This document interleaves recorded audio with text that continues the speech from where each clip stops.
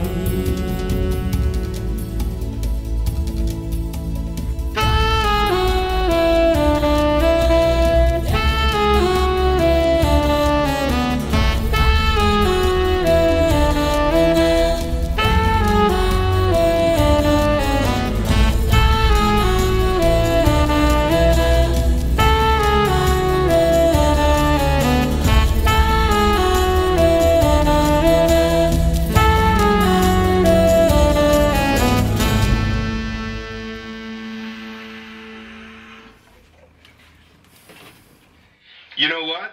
I'll take it.